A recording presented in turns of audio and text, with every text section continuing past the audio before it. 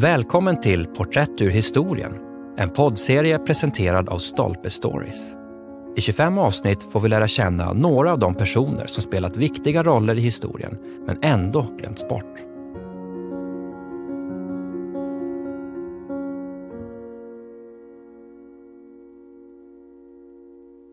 Carl Akeley. Ett liv av motsägelser. Konservatorn och jägaren som blev viltfotograf. Av Maria Gallia. Termen Big Five, eller storvilt, myntades av troféjägare som en beteckning på de mest eftersökta och svårfällda villebråden. Elefant, lejon, leopard, noshörning och afrikansk buffel. I en artikel nyligen talades det om det nya storviltet. De djur som 50 000 personer uppgett att de mest tycker om att se fotografier av. Elefant, lejon, isbjörn, gorilla och tiger. Samtliga utrotningshotade arter. Att identifiera det nya storviltet ingick i en plan som inbegrep fotografer och naturvårdare och som gick ut på att göra dessa djur till globala ambassadörer för alla vilda djur och de svårigheter de möter. Den brittiske tv-presentatören Chris Packham anmärkte att om alla jägare knäppte djur med kameror så skulle det vara ett betydande framsteg. Sådana framsteg har dröjt länge om man betänker att användning av fotografi som verktyg för viltbevarande förespråkades redan 1919 av Carl Eicheli, uppfinnare, skulptör och till yrket konservator, som konstruerade en filmkamera särskilt för detta ändamål. Eicheli, 1864 till 1926 är mest känd för de naturtrogna dioramor som man kallade ett titthål in i djungeln och som man tänkte ut och hjälpte till att skapa i African Hall på The American Museum of Natural History, AMNH. Han betraktas som den moderna taxidermins fader och sökte metoder att fånga de djur som enligt hans uppfattning hade mycket att lära oss en gång för alla. Det vill säga, för alla. Fotografier var mer tillgängliga för allmänheten än taxidermin, uppstoppningen, och krävde inte att objekten var döda. Akeley hade själv jagat och nedlagt en del av de exemplar som han monterade på museet och visste att rörligheten var avgörande för filmandet. För att det ska vara någorlunda möjligt att följa det som sker behöver man en kamera som man kan rikta uppåt, neråt och åt alla håll med ungefär samma lätthet som man pekar med en pistol. Busksnårens oklara skärpedjup utgjorde ytterligare en svårighet, så han uppfann ett teleobjektiv med en slutare som släppte igenom 30 procent mer ljus. Eikelis kamera blev snart förstahandsvalet för journalfilmer och dokumentärer och när sportevenemang skulle förevigas och Hollywood använde den för att spela in actionsekvenser i spelfilmer. Första gången i Nanook, Köldens son, 1922. Akeley beskrev sin uppfinning som ett slags kulspruta. Ett panoramainstrument som man kan svänga i olika riktningar. Ungefär som när man svänger en rörlig kulspruta och följer den naturliga synlinjen. Vägen från att skjuta med vapen till att skjuta med kamera var emellertid full av motsägelser.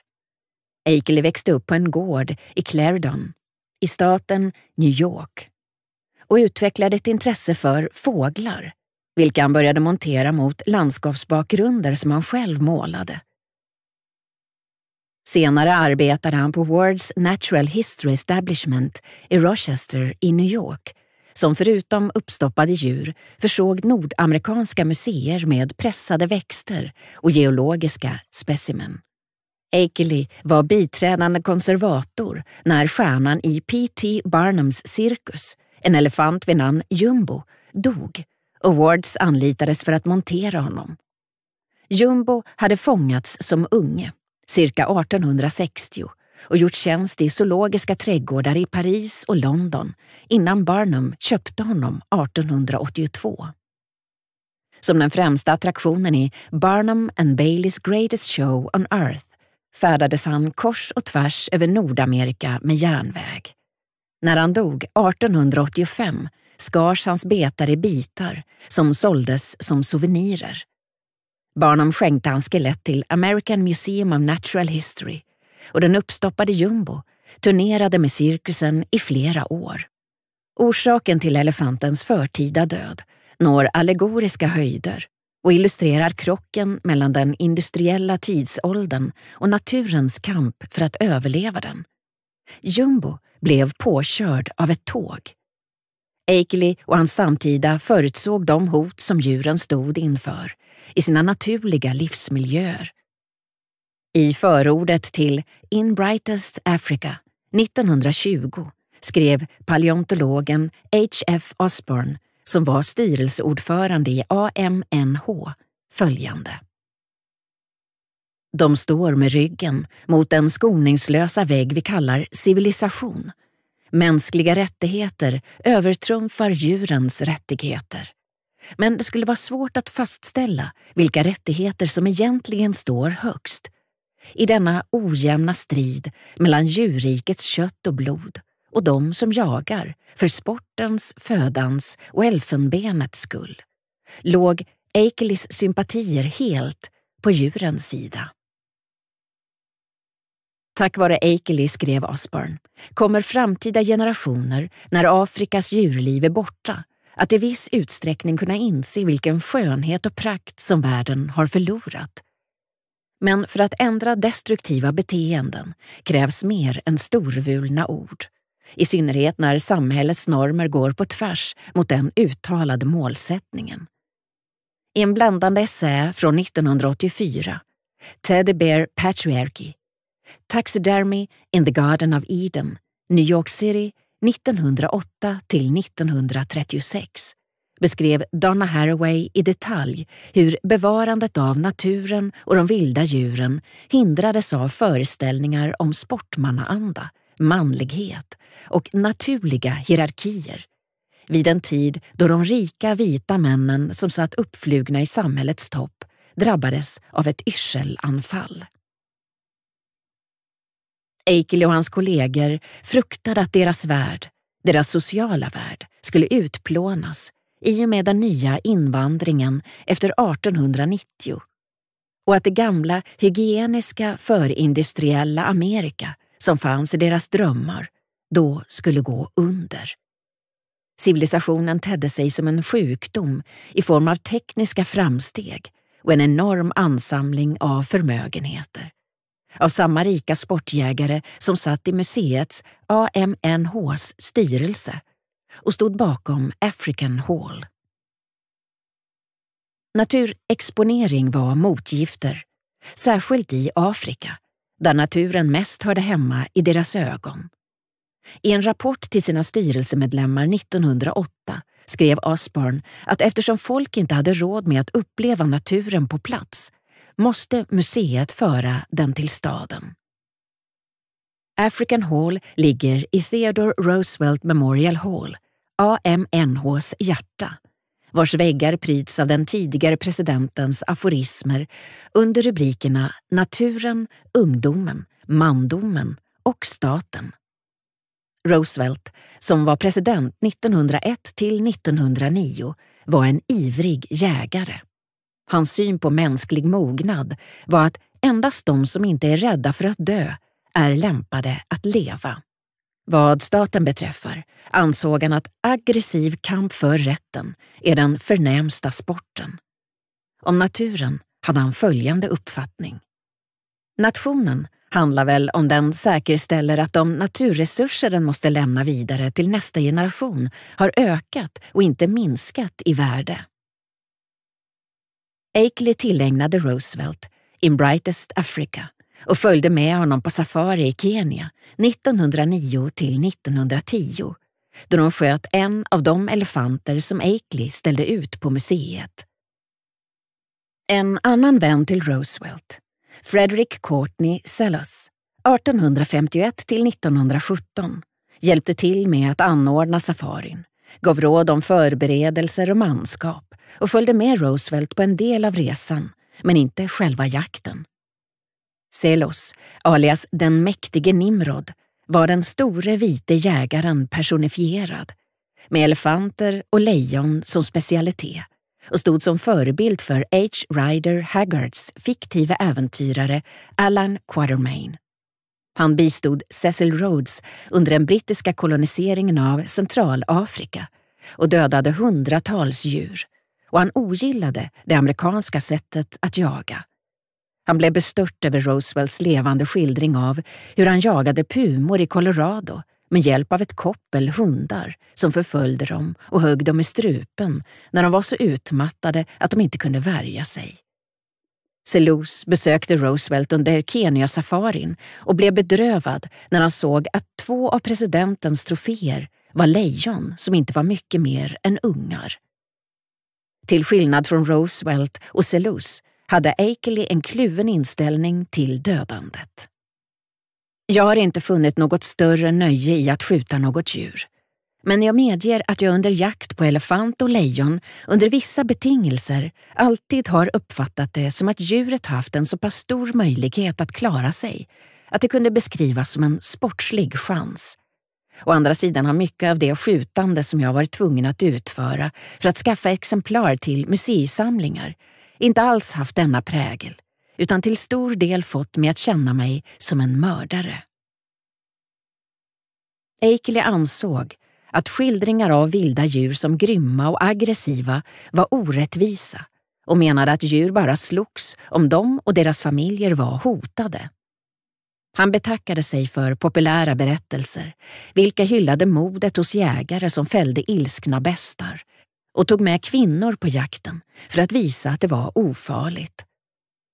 Om även de kunde jaga, resonerade han med till synes obesvärad nedlåtenhet, så skulle mycket av det hjältemod som förknippats med afrikansk storviltjakt börja blekna. Och han fortsatte. Som naturforskare med intresse av att bevara det afrikanska djurlivet gjorde jag med glädje allt jag kunde för att göra dödandet av djur mindre attraktivt. Eikley kunde med rätta hävda att han var naturforskare. Han studerade djur på fältet, dokumenterade sina iakttagelser och bidrog väsentligt till att man lyckades övertyga det av Belgien koloniserade Kongos regering om att inrätta en safaripark, Afrikas första, i syfte att bevara gorillornas livsmiljö. Likväl lät han sig påverkas av den syn på manlighet och sportmannaanda enligt vilken dödandet av djur var en respektfull gest, ett möte med en värdig fiende. Hans hustru Delia berättade att hennes make ofta drabbades av feber i Afrika, men att han till och med under återhämtningen efter att ha skadats av en attackerande elefant propsade på att jaga. Buren av bärare lyckades han skjuta en elefant och kunde därmed slå fast att hans moral var intakt. Döden måste ses i vitögat och likadant var det med naturen. För att kunna skydda den ordentligt måste man visa den vem som var herre på täppan. Haraway skriver För Akeley prövade manligheten sig själv mot rädslan, även då den intellektuella och mytiska vissheten ökade om att vilddjuret i djungeln var människan, den industrialiserade människan.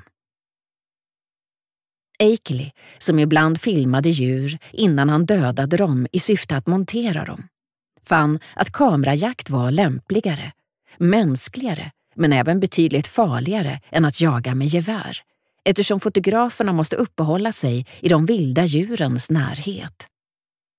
Enligt alla vedertagna definitioner av sport, att demonstrera en färdighet, visa oräddhet och uthålligt övervinna svårigheter, kräver kamerajakt dubbelt så mycket manligt mod som gevärsjakt gör, skrev han och konstaterade att det är till lycka för djuren att kamerajaktens popularitet ökar. Men gjorde den verkligen det? Filmer som Simba 1928, en dokumentär om lejon som Akeley var med och producerade, kan mycket väl ha gjort många sugna på safari. Och även om Akeleys idéer ledde till att en del djur skonades de sköts med kamera istället för gevär. Var och är denna ambition dömd att misslyckas så länge man inte tar itu med drivkrafterna bakom jakten.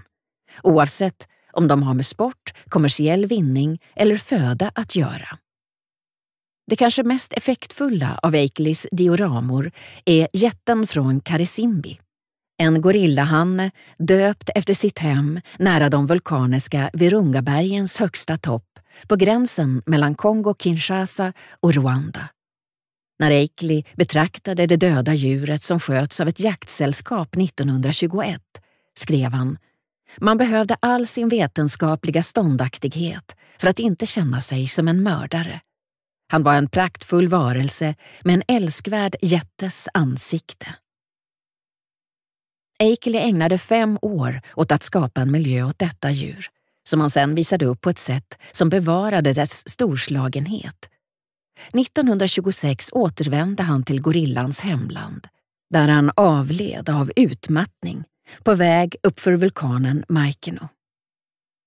Eikelis andra hustru, Mary Job Eikeli, beskrev arrangemanget i samband med hans begravning i regnskogen. En mahognykista med innersida av galvaniserat stål, insvept i lägerfiltar, sänktes i en två och en halv meter djup vulkanisk kittel som kläddes med trä och fylldes med grus. Bärare bar cementsäckar genom flera kilometers svår terräng, varpå graven förseglades med en gjuten platta och platsen inhägnades med ett högt, kraftigt stängsel. Trots allt detta plundrades Eiklis grav av tjuvskyttar på gorillajakt 1979. I hopp om att hitta något av värde slog de sönder cementplattan där hans namn och datum ristats in och deras hänsynslösa förstörelse kan sägas vara ett sorgligt eftermäle om en man som ville skydda den storslagna naturen men inte räknade med den mänskliga naturen. Maria Golia bor sedan lång tid tillbaka i Egypten och är författare till Photography and Egypt, Ornette Coleman, The Territory and the Adventure och A Short History of Tom Brading.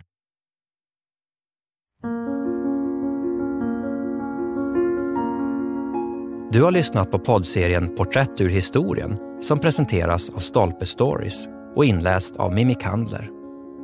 Serien är baserad på essäsamlingen Porträtt, människor som formade sin samtid men som historien glömde. Essäsamlingen finns ute nu. Glöm inte att du som lyssnar har 20% rabatt på alla bokförlaget Stolpes titlar på Bokus.com. Ange rabattkoden STOLPE20.